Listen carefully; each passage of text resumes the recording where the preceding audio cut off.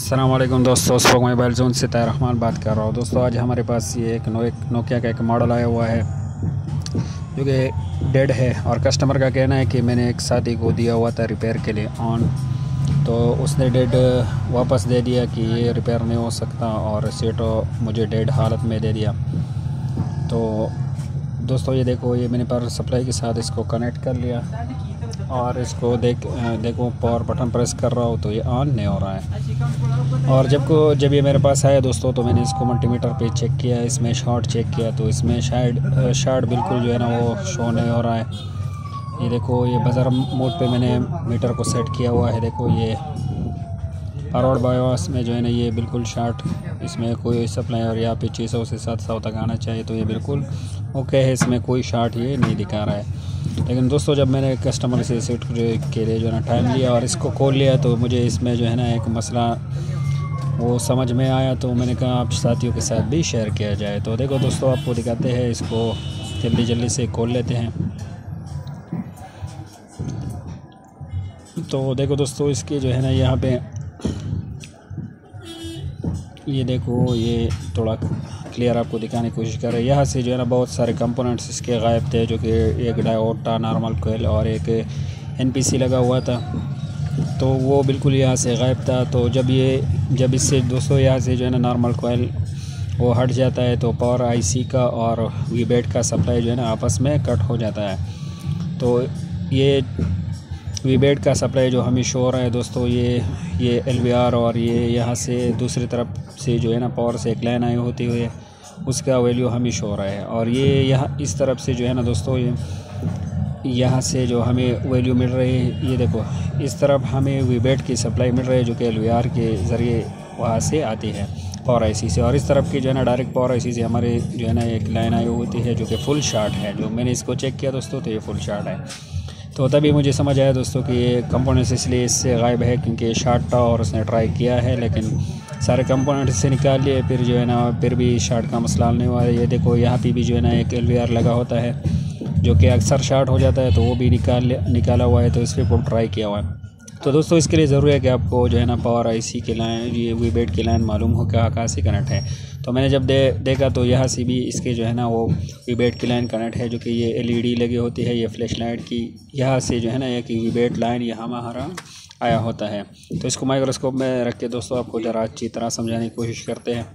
तो देखो दोस्तों, ये माइक्रोस्कोप में मैंने रख लिया ये जो, ये हमारे फ्लैश जो एलईडी होते हैं, इसमें जो है ना दोस्तों, ये तीन लाइन आपको नज़र आए ये एक ही लाइन होता है, ये एक जो है ना, ये इन सिग्नल का होता है फ्लैश के लिए, और ये तीन जो है ना वीबेट से हमारे कनेक्ट रहते हैं, जो कि यहाँ से एक पॉइंट के ज़रिए जो है ना वो आते हैं। लेकिन किसी ने ये चार्ज इंजेक्ट चेक किया हुआ है शायद उस कारीगर ने।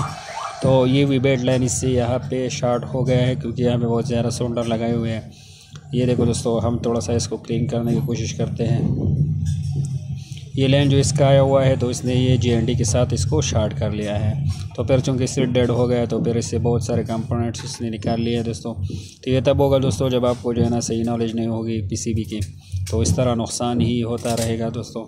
तो ये देखो, ये ये लाइन जो है ना, ये हमारी वेबेट से कनेक्ट है, जो कि ये फ्लैश एलईडी के लिए होते हैं। ये देखो, ये जो फ़ोन आपको नज़र आ रहा है थोड़ा सा ज़रा इसको क्लीन कर लेते हैं। तो ये हमारा वीबेट लाइन से कनेक्ट है, जो कि पावर आई से निकलता है। तो इसलिए ये यहाँ पे शार्ट हो गया तो वह भी हमें जो है ना, वो वैल्यू शार्ट दिखा रहा था। और वजह इसका ये है, दोस्तों, के गलत तरीके पे चार्ज जेक इसने लगाया हुआ चार्ज जेक सही तरीके से किस तरह लगा सकते हो दोस्तों तो हमारे चैनल पे वीडियो मौजूद है। उसे सर्च करके आप आसानी से सीख सकते हो कि ये छियासी सौ और जो भी मॉडल हो आपके पास तो उसको आसानी से आप किस तरह लगा सकते हो तो आप वो वीडियो देख सकते हो। ये देखो दोस्तों यहाँ पे अभी वैल्यू चेक करते हैं। ये लाइन जो है ना, हमारा अभी इससे शार्ट निकल गया दोस्तों। अभी आपको भी मीटर पे दिखाएँगे। और ये यहाँ पे जो कंपोनेंट सारे गायब है, देखो दोस्तों, आप देख सकते हो इस तरह ये सारे निकाले हुए हैं। क्योंकि उस को फिर समझ नहीं आया कि किस वजह से ये शार्ट हो गया। तो ये सारे कंपोनेंट इससे बिल्कुल गायब है और यहाँ पे ये ये जो है ना पावर आईसी और बेड का जो है ना, ये लाइन आपस में ड्रॉप हो गया, क्योंकि कंपाउंड से निकाले हुए थे। और ये देखो दोस्तों, ये यहाँ पे ये पॉइंट जो है ना, ये यहाँ इस ग्राउंड से टच था। ये वाला पॉइंट इस ग्राउंड से, उससे टच हो गया था। तो इसी वजह से दोस्तों, ये मसला बन गया था और ये से डेड हो गया था। तो माइक्रोस्कोप से इसको निकाल लेते हैं दोस्तों। और अभी जो है ना, ये वी बेट लाइन हम जो है ना, वो टच करेंगे। और इसी से जो लाइन निकला हुआ है, उससे हम ये टच करेंगे इसमें एक जंपर लगाएँगे दोस्तों, लेकिन उससे पहले थोड़ा चेक करवाते हैं आपको कि ये अभी इस लाइन पे जो है ना वो वैल्यू हमारी किस तरह आ रही है। देखो, आप देख सकते हो दोस्तों, यहाँ पे हमें जो है ना वो ग्राउंड वैल्यू मिल रही थी, अभी बराबर वैल्यू यहाँ पे हमें मिल रही है। क्योंकि ये शार्ट उसी वजह से था तो ये एक लाइन में था। देखो, आपको दिखाते हैं कि ये एक लाइन में कनेक्ट रहते हैं। ये देखो दोस्तों, आप देख सकते हो ये यहाँ पे जो पॉरेसी सी लाइन आया हुआ है, ये यहाँ से कनेक्ट रहता है। और चूँकि वे बेड का लाइन हम, हमने आपको कहा कि दूसरी तरफ़ से ये देखो यहाँ पे कनेक्ट है, ये कंटिन्यूटी इंडिकेटर से आपको पता चल रहा है। तो ये वी बेड का लाइन दूसरी तरफ़ से हुए एलवीआर के ज़रिए इस तरह एक लाइन पावर आई से आती है तो और ये, और इस तरफ़ का लाइन अलग से पावर आई से डायरेक्ट निकल निकलती है दोस्तों तो ये शार्ट हो गया था। इसलिए हमें जो है ना वी बेड पे जो है ना शार्ट सप्लाई नहीं मिल रही थी। तो ये एलवे ये वी बेड का और ये आई का जो लाइन था, वो हमने आपस में कनेक्ट कर लिया दोस्तों। अभी इसको चेक कर लेते हैं। तो मसला इसका ज़्यादा नहीं था, वैसे ही इसके जो है ना कस्टमर का सेट डेट करके उसको दिया एक बात और दूसरा ये कि फिर उससे बहुत सारे काम कंपोनेंट्स भी निकाल लिए बिला वजह। तो ये वजह है दोस्तों कि आपको जो है ना सही नॉलेज एक पीसीबी के रखना ज़रूरी है।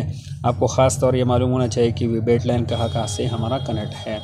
तो ये आप वैसे ही ट्रेस कर सकते हो एक बिल्कुल अच्छी पीसीबी में। आपके पास अगर वक्त हो तो आपने मीटर से यही लाइन चेक करना है कि पला कौन सा लाइन कहाँ पे कनेक्ट और देखो दोस्तों, ये सेट अभी बराबर ऑन हो गया और इसका मसला हमारा हल हो गया दोस्तों। ये देखो, आप देख सकते हो। और इसका जो मसला था दोस्तों, वो उम्मीद है आप लोग समझ गए होंगे। तो यहाँ पे दोस्तों, ये इसका मसला तो हल हो गया। यहाँ पे हमारे चंद स्टूडेंट बैठे हुए हैं। तो मेरे दिल में वैसे अभी आया कि चलो इनसे थोड़ा सा तारुफ आप लोगों का करवाते हैं तो ये वीडियो हम इस तरह ही कंटिन्यू करते हैं दोस्तों कि इन अपने स्टूडेंट से आपके थोड़े तारुफ करवाते हैं। ये देखो यहाँ पे। ये है हमारा शागर्द इसका नाम है इनामुल्ला इनामुल्ला क्या कर रहे हो जी? इस मैंने इसको रिमूव किया और ये टच स्क्रीन बिल्कुल ओके अच्छा जी टच ये कह रहे हैं कि उर्दू थोड़ी साफ़ नहीं है। बहरहाल ये कह रहे हैं कि इसका टच का मसला था तो ये टच इसने रिमूव कर लिया है। अभी ये नया टच जो है ना इसमें वो लगाने वाले हैं। तो अल्लाह कितनी देर हमारे साथ काम किया आपके? यहाँ आई हुई कितनी देर हो गई? ये देखो इसका डिस्प्ले बिल्कुल ओके यहाँ हमारे इंस्टीट्यूट में आए हुए आपके कितने दिन हो गए? हमारा तकरीबन दो मंथ हो गए। अच्छा दो महीने इसके हो गए हमारे पास माशाल्लाह। ये बहुत अच्छा कारीगर है बहुत जो है ना डीप डीप वो सिटी है उनका जो है ना मसले हल करता है। और ये हमारा जो है ना ये दूसरा शागिर्द यहाँ पे बैठा हुआ है इसका नाम रियाजुल्ला रियाजुल्ला कैसे हो? आप क्या क्या कर रहे हो सेट में? क्या मसला है? डिस्प्ले लाइट मसला। अच्छा ये कह रहे डिस्प्ले लाइट का मसला है उर्दू इसको नहीं आ रही। हाँ तो ये वो कहेगा आप किसने के किस तरह किया आपने? जंपर में तो। अच्छा ये कह रहे यहाँ तक मैंने लैंड ट्रेस किया या फिर कुछ लैंड वो डैमेज थे तो हल कर लिए। देखो, ये जंपर इसने लगाए हुए हैं। गुड माशाल्लाह। एक और शागिर्द हमारा बैठा हुआ इसका नाम है उज़ैर खान। उज़ैर खान, क्या कर रहे हो? अच्छा ये कह रहे हैं कि इसके सिग्नल का मसला था इस मोबाइल में तो तो क्या किया आपने?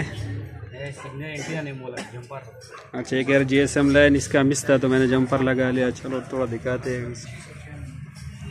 ये देखो जी एस एम यहाँ से एक जंपर उठा के यहाँ पे इसने लगा दिया। तो इसका मसला हल हो गया। हाँ। ओके गुडो ये कह रहे इसका मसला। ताउल्ला खान आप क्या कर रहे हो? मैं यूनिट चेंज कर रहा हूँ। अच्छा यूनिट चेंज कर रहे हो। पुराना यूनिट आपने निकाल लिया? दिखाओ मुझे। ये वाला। अच्छा ये कह रहे यूनिट चेंज कर रहा हो। माशाल्लाह गुडो ये पुराना वाला यूनिट इसने निकाल लिया। अभी नया यूनिट ये लगाएगा।